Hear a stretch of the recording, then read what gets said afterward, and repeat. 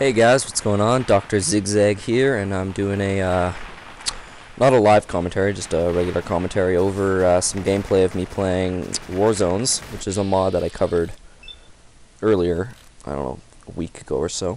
And, um, this one is the Raid Camp, or Legion Raid Camp, or something, I don't know.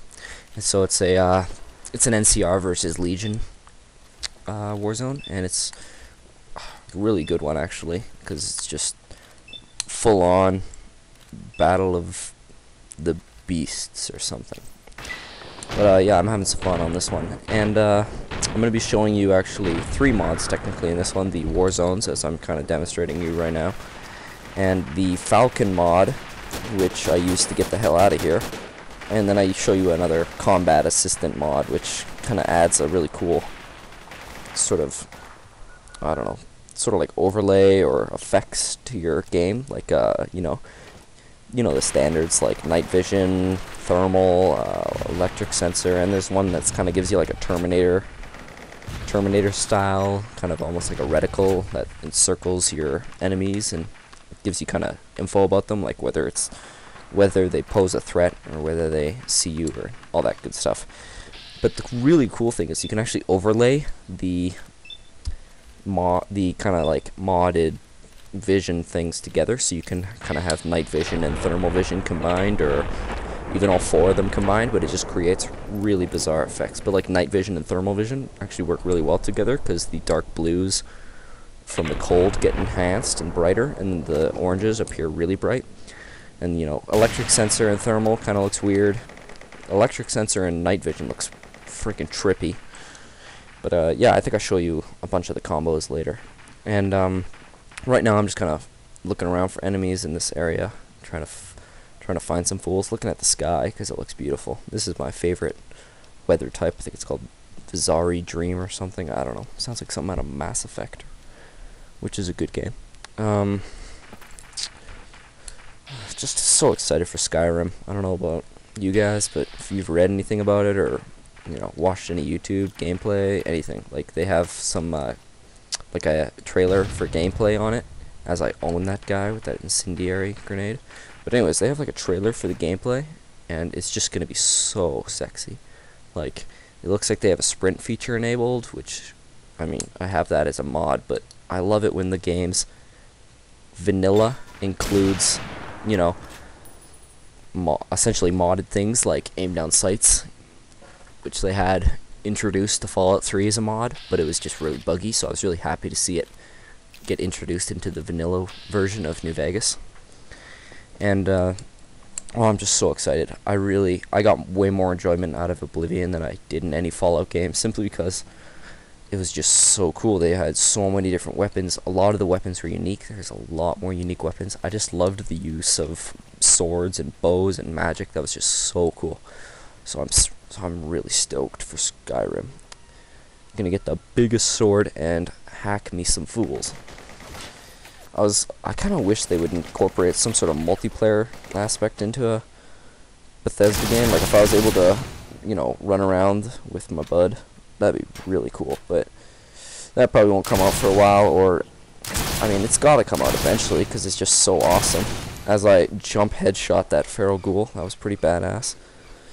And, um, oh, just so stoked. I have a countdown on my phone, and it's just telling me days to Skyrim. I can even update it right now. It's coming out on November 11th, and it'll be precisely, precisely, um, 213 days to Skyrim, and 75 days till school ends.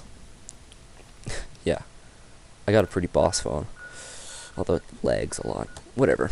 Um, so yeah, here I'm trying to travel to Goodsprings, but I realize I'm still in a combat zone, so I pull out my trusty Falcon, the uh, Falcon, and uh, I think he glitches the first time. Yep, it doesn't even call, but whatever.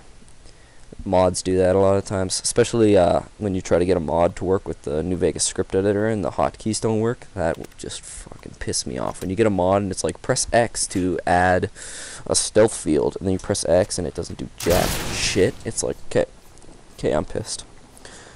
Whatever. I also had a weird bug where when I called in the Falcon, the propellers weren't moving. and it just looked really weird. But uh, usually you can fix most bugs by just simply restarting your computer. But yeah, you can deploy a guard from the Falcon, which is a pretty damn cool thing. You can deploy a guard and it gives you a list of guards, and here you can choose the waypoints. You can set the custom waypoints from, I believe, the actual remote control, and here are a bunch of preset things. And I want to go to Goodsprings because that's where the uh, combat assistant thingy bobbers are. There's actually a bed that folds out of the wall, which is really good because you can make it like a uh, even a full player home, and it it's got a little hold in the back where you can put your companions. It's yeah, pretty cool. I'm just playing with a lock in my hand because it broke, so I'm gonna have to go bend it into shape. So yeah, so you go over to uh, whatever his name is, Doc Mitchell's house, and he should have them on the shelf or whatever.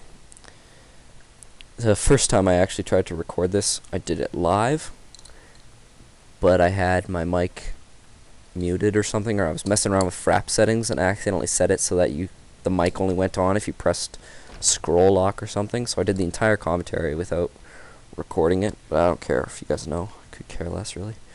Um, and then, oh yeah, here are the combat assistant things just on a shelf.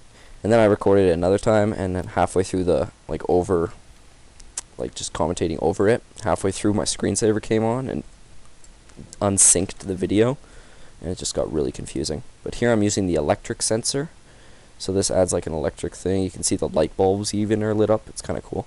And here I combine the electric sensor and night vision, which looks like freaking weird as hell. And uh, so yeah, it's really cool how you can combine them. And here I put on thermal vision, all three of them at the exact same time. And you can see the thermal vision is just really dark. And it doesn't really work with all three of them. But as soon as you uh, take off it kind of just causes weird things. But as soon as you take off like electric sensor or uh, night vision, it doesn't really matter. You'll uh, get really cool effects. Just like the night vision, as you can see, there's a little trail behind Rex where his heat has been. You know, even lights put off heat, like just the smallest things. Windows, just it's really well done. I don't know how the guy did it, but it's just a really well done mod. Here's night vision, the stock night vision with no other attachments. And uh, that's just, oh, just such a good mod, really. And here's the combat assistant. You can see it's kind of got a Terminator style thing on it. it. says ally detected, do not attack in the top right. And on enemies like this, or not really enemies, but it says no threat, you know, passive target. And uh, that's really cool. It also uh, shows you dead bodies. Uh, what else? I think it also shows you enemies that like, haven't seen you. I'm not really sure about all the aspects. Like I haven't tried them all or seen any differences. But like if it's an enemy but it doesn't want to attack you, such as like a mole rat or a uh, well mole rats want to attack you, but like a rad roach or anything, it'll say passive target. But if it's an actual like hostile enemy, it should show as red. And then once you kill an enemy, the uh, circle still goes around it, and it shows as as being dead. So it's like a purple circle thing with it says target level enemy is dead or something like that. Which is really good because you can tell from a distance if there's, you know, a few guys over there or whichever. But the only thing is, it shows through walls and it also shows over a really far distance, which means it kind of, it almost makes it too easy because you can just know where everybody is. But uh, then again, if you have Eddie on your team, or Edie or whatever, if you have him on your team, you can see every freaking person in the game essentially on your little mini map.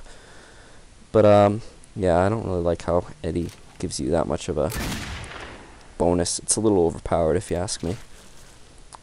But I think I'm gonna get a mod that actually it's called iHUD, and what it does is it disables the the uh, the HUD essentially, so you can have it so there's no health showing up, no nothing. The only reason I didn't keep it on is because it just felt really weird, and uh, you you can't see what grenade you're using as like grenade hotkey, which kind of confused me. But I mean, I'll probably put it on because I I'm gonna try to make this game as immersive as I can. Essentially, should be good. And uh, yeah. So if you in, uh, enjoyed the video, then please head over to my channel and uh, show some love. If you didn't, then show some hatred of some sort. I don't really know, but I'll probably just not respond. So yeah, have a good day and peace.